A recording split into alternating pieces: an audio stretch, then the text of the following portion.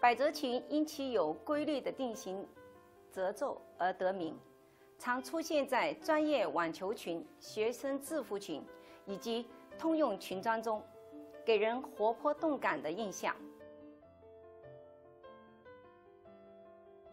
百褶连衣裙或短裙配针织衫，最适合春夏及秋冬交换的季节。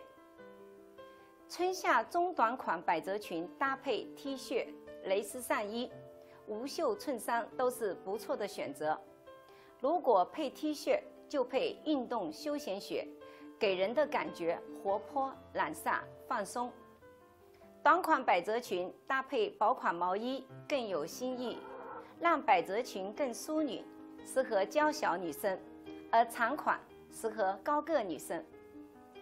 冬季百褶裙。配长短靴，靴子可以很好的修饰小腿的比例，适合短靴或过膝的长靴。因为百褶裙不会遮挡住靴子，这样搭配起来很阳光有朝气。上装配呢子中长短大衣、编织毛衣，注意上衣不要过长，色彩多为黑灰格子。这种搭配适合校园的女生。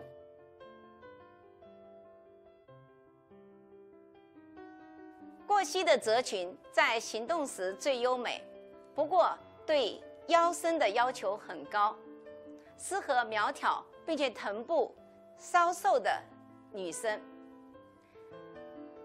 臀部瘦弱的女生可以穿褶皱不限的裙子，而身材偏胖的女生适合穿褶皱像这一条不明显的裙子。这样可以使原本垂直的裙子显得有一点点宽松，不显胖。腰长臀宽偏瘦的女生可以选择这款上宽下松的百褶连衣裙，很好的掩盖腰长的缺陷。长款百褶裙蓬蓬的效果很容易显臀大，适合偏瘦高的女生。普通女生不要轻易尝试，压低身高显胖。可以选择长度在大腿中部的百褶裙，因为短裙的料子没长裙那么重，裙摆能够散开成 A 字效果，修饰了臀部的线条。百褶裙配钩花针织衫是纤瘦女生最合适的搭配。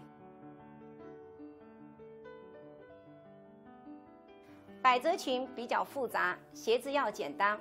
百褶裙飘逸优雅，尖头高跟和系带高跟鞋更能凸显淑女的气质。